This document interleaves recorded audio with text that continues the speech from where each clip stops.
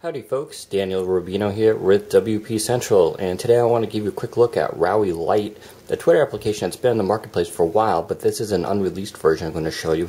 This is probably coming out this week and it has a new feature in it that I think a lot of people are going to really like because um, it hasn't been done yet as far as I know in other Twitter apps or at least it hasn't been done in this way. You can see the app actually launches very quickly now. This is a Nodo uh, HD7 so it's a little bit faster than most uh, of your devices out there. Sorry about that. But um, the app scrolls very nicely. It's a light application. It has basically three sections, your timeline, mentions, and personal messages, of course.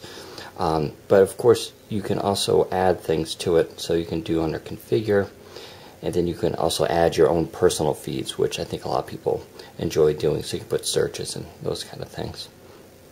It only supports one account, which I kind of don't like, but it is a light version. They're coming out with a paid version, which will have more features, including push notifications. Look for that in a couple weeks. But let me show you this new feature that they added. So say you're going to write a tweet, and you want to write it to someone. So you want to say, I want to write to Phil Nickinson at Android.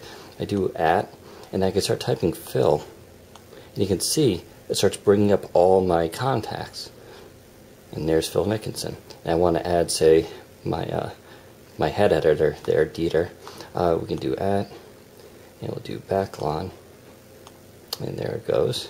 And I can even, so you can just keep adding people. And what's great is it's a lookup. It's basically your most frequent people that you contact, and it's automatically saved onto the device. And it makes uh, writing, you know, tweets a lot easier and more intuitive. A very cool feature. Outside of that, you can add your photo and tweet. There really isn't, and you can do your current location.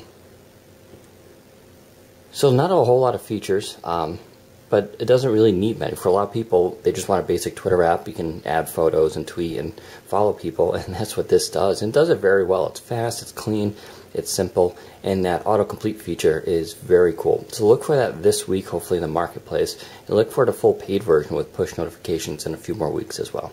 There you go. Take care, everybody.